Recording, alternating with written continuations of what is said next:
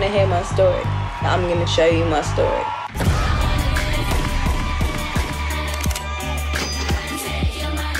What's that song about? Stereotype that's attached to like immigrants and stuff like that is that they come and take the jobs and take the money. At least 100 have arrived in South London.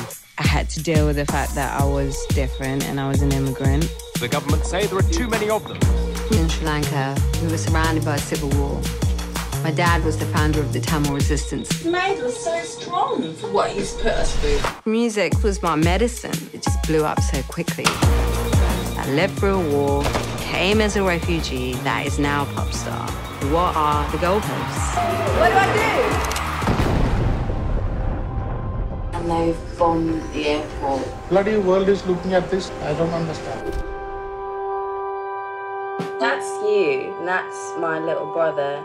Two out of six boys are dead. There's a genocide going on. We don't want to talk about death, talk about Beverly Hills.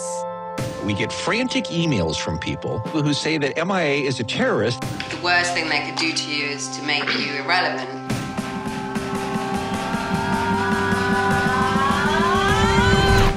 Action.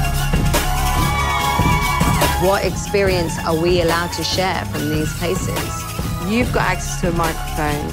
Please use it to say something.